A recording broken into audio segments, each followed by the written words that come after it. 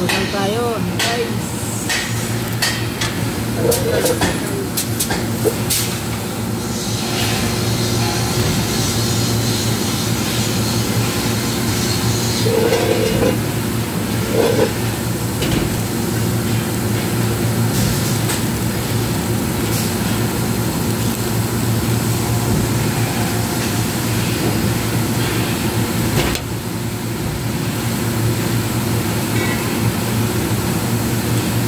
Itlog ang ulam,